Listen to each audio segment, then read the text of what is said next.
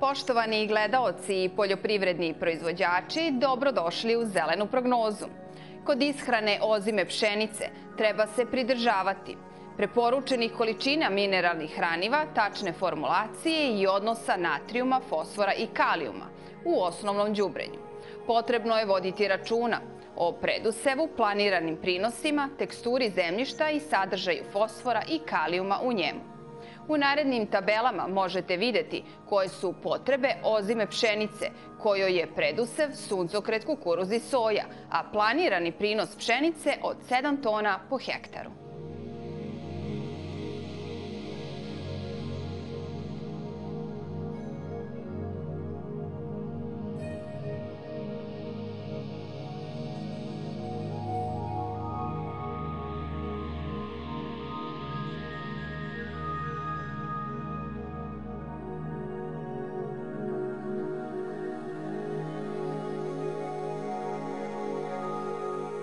Neophodno je racionalizovati upotrebu mineralnih hraniva, imati stalno uvid u plodnost zemljišta i redovno pratiti i raditi svake četvrte, pete godine agrohemijske analize zemljišta.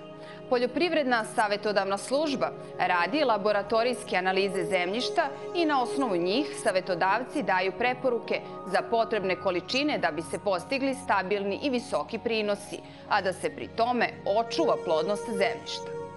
U tehnologiji proizvodnje pšenice potrebno je znati i njene potrebe za fungicidnim i insekticidnim tretmanima u toku podmakle vegetacije. Osnovni problem kod primene pesticida u vreme intenzivnog porasta i kasnih faza klasanja cvetanja i ranih faza zrenja je gaženje useva. Agrotehničko rešenje tog problema velikim delom se može prevazići setvom strnina na takozvani stalni trag, čime se postiže smanjenje gaženja posejanih useva i preciznost pri zaštiti i prihrani useva. Setvu treba početi sa polovinom zahvata sejalice u prvom prohodu, a zatim nastaviti sa punim zahvatom. Stalne tragove treba praviti pri svakom četvrtom prohodu. Uvek je moguće smanjiti zahvat prskalice zatvaranjem krajnjih rasprskivača. Najjednostavnije je ako imate sejalicu zahvata 3 metra, i prskalicu zahvata 9 metara. O radu Pokrajinskog sekretarijata za poljoprivredu, vodoprivredu i šumarstvo možete se informisati putem sajta www.pspvojvodina.gov.rs.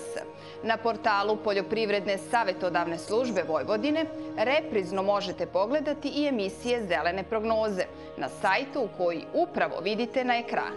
Prijatno!